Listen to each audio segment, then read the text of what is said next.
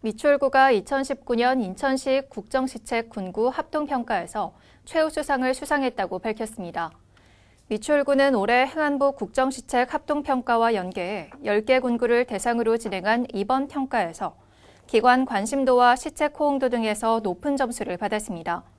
특히 우수지자체 벤치마킹과 직원 역량 강화, 매월 실적 점검의 날 운영 등이 호평을 받았으며 미추홀구는 이번 수상으로 2억 7천만 원의 재정 인센티브를 받게 됩니다.